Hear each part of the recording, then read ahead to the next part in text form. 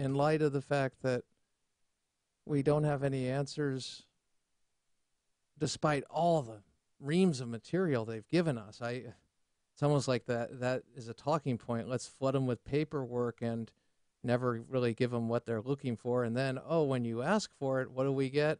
Oh yeah, I I forgot we we get conspiracy theories charges. We now welcome our good friend. He is author of Obama's Enforcer, Eric Holder's Justice Department, former member of the Department of Justice Civil Rights Division. He is manager of election reform at Heritage Action and Heritage Foundation's senior legal analyst, Hans von Spakovsky. Welcome, Hans. Hey, Crane, how are you doing? I'm good. Wanted to just bring everybody up to speed. On Friday, this was one of the exchanges that took place in the hearing of the commissioner Koskinen and Representative Dave Camp. Roll it. Your letter describes the Lois Lerner emails as being unrecoverable, Correct. but fails to mention where the damaged hard drive is today.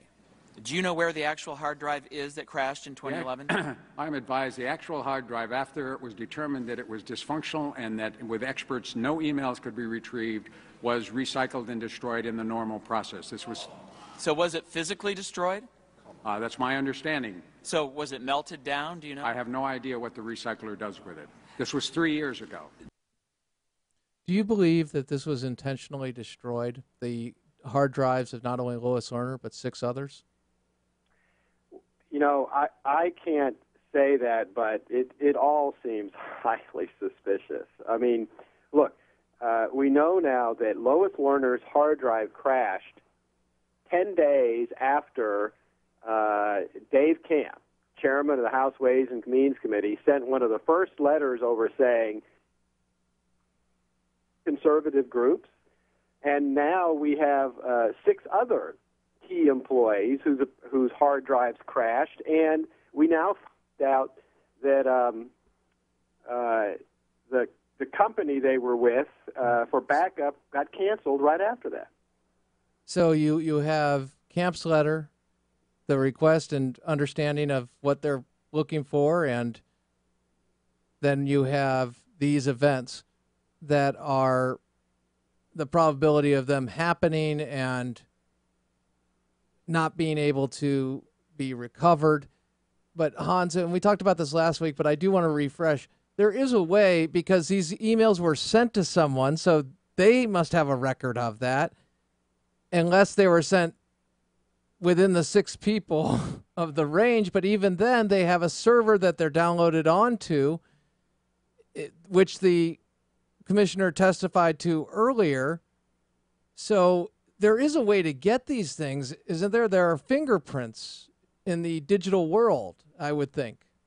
Well, except they're saying that uh, for these six people and for Lois Lerner, hmm uh, there are no backup tapes of all of their emails because uh, the IRS says they were recycling the emails every six weeks. Plus, um, two months after Lois Lerner's email crashed, uh, the IRS canceled its contract with Sonasoft.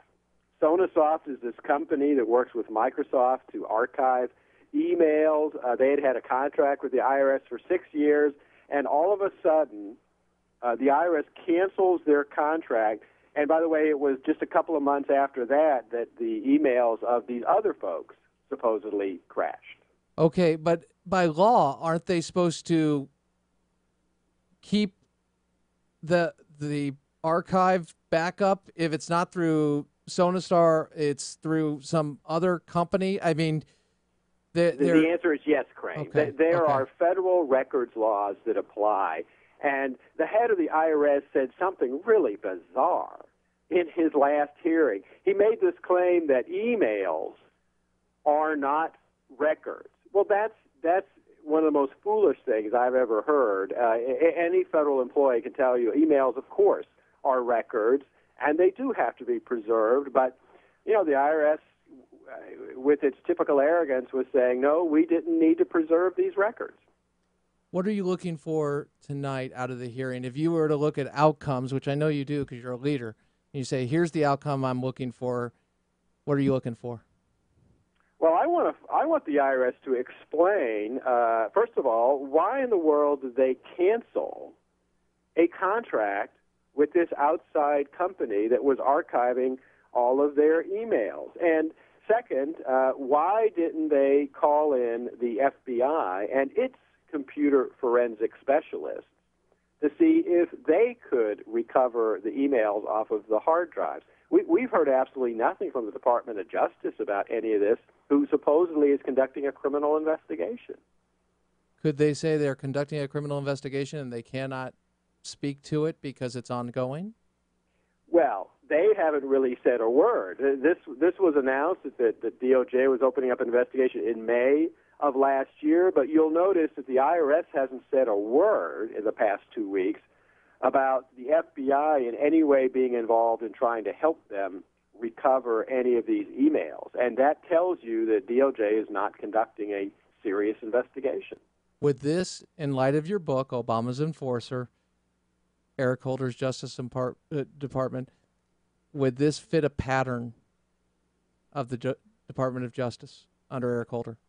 Uh, oh yeah, it it absolutely fits the pattern. Um, uh, politics and ideology drives the enforcement now at the Justice Department, not not the objective and fair and impartial um, interests of, of justice. And uh, there's no way that he's going to allow a criminal investigation to go forward that would in any way uh, indict high level officials that might embarrass the administration.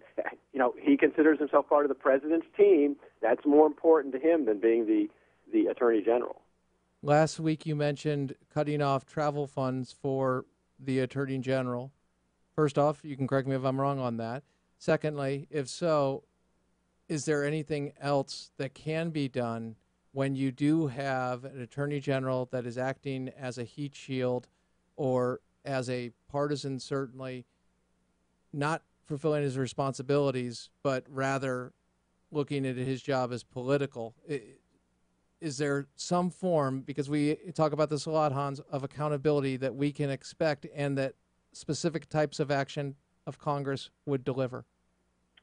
That's very difficult. You know, the way the Constitution was written, it expected um, good behavior by uh, members of an administration. And when it comes to, for example, the Attorney General, if he's misbehaving, uh, look, uh, Congress, the only thing they can do is they can either try to um, use the power of the purse over him, like I said, with targeted budget cuts, things like that, or they can impeach him. But as you know, I mean, impeachment that's that's just not gonna that's just not gonna happen. Okay, so again, we come back to this place where we don't really have the law being enforced, no accountability. I guess that comes into line where the political pressure gets so great, and is that why we're seeing this in prime time to go after the low information voters who may not be aware of this and to send a signal to the networks? Yeah this is a big deal, even if it's not really helping your particular agenda or ideology or the president that holds it? Yeah, public pressure is very important. Um, I'll give you a quick example of that. Yeah, you all may recall that um, not too long ago, Holder's Justice Department sued the state of Louisiana, claiming that the school voucher program down there, which is for poor kids. It, it gets them out of failing schools. It's nine of nine out of ten of the kids who use it are African American, and and the whole Justice Department went to court claiming this was a racially discriminatory program. And the only reason they backed off from what they were originally trying to do, trying to stop the program, is because of public outcries about what they were doing, including critical editorials, even in liberal newspapers like the Washington Post. So public pressure can sometimes work, and that's that's one of the only other alternatives you have for trying to get to get the attorney general to do what he's supposed to do. In light of Fast and Furious and the other scandals that we have seen, IRS, the James Rosen, the, the, the well, we can go down the line. But in light of those, part of your mission has been to inform people about what is taking place, and oftentimes you are ahead of the game. You do it in the book.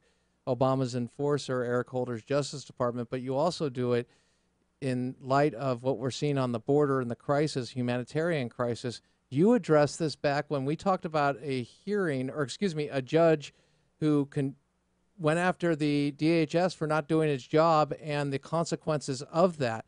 Federal judge, the Obama administration is entitled aids and abets human trafficking, December 20th, 2013. You were way ahead of this, Hans. Well, I, you know, it wasn't me. It was that federal judge. Yeah, in, but in you- a case yeah. saying Mhm. this is what the administration's doing, and he was extremely critical of them, saying it was dangerous and endangered these children, and everything that he said would come to pass. That is exactly what has happened. I mean, with this crisis on the border is because uh, all these people are reading their newspapers in their home countries, and they're hearing, if we can get across the border, we will get amnesty. So let's go. And despite the visit from our vice president saying they won't get amnesty, they really don't believe that. They seem to understand the political system and our recent history of executive action. Yes, they understand that. The, the Biden may say that, but we, you know, actions speak louder than words, and their Amen. actions have been to not enforce the immigration laws for the past uh, few years, and to uh, basically allow people who once they were are here to stay, and to not uh, put them into removal proceedings. Hey, I'm going to try out for CNN or MSNBC real quick. Here's my question. So, when will Governor Walker finally get caught in his behavior of politicizing the campaigning process and, and funneling money wh- to where it should not be going? Hans? Yeah, that was pretty good, Uh, you're you're being facetious here, uh, Yes. here, Crane. Uh, Yes. wh- what you're what you're talking about for your listeners is that uh, the news media has been full of these allegations the last couple of days that, that Governor Walker of, of Wisconsin was somehow engaging in a criminal scheme to break Wisconsin campaign finance laws. That is completely untrue. Those are claims that were made by local Democratic prosecutors in a secret investigation. Uh, their case was thrown out, thrown out by a federal judge who said there was absolutely no basis for the claims that they were making. Hans von Spakovsky, Obama's enforcer. I'm sure it's climbing up the charts. Are we going to see the bestseller list here, Hans? I think even if it uh, if it had bestseller sales, the New York Times would probably ban it from their list. That's for sure. So we'll try to make that happen because we all need the truth, and you deliver it and you communicate it as you just did, as you saw in the final story we covered, explaining it and understanding what the truth is, and that's what Hans von Spakovsky has and continues to do. Obama's enforcer, Eric Holder's Justice Department. Check it out. Also check out his work, Heritage Foundation, senior legal analyst, and election reform manager, manager election reform at Heritage Action, Hans von Spakovsky. Thanks, buddy. Great Thank to be you, with Crane. you.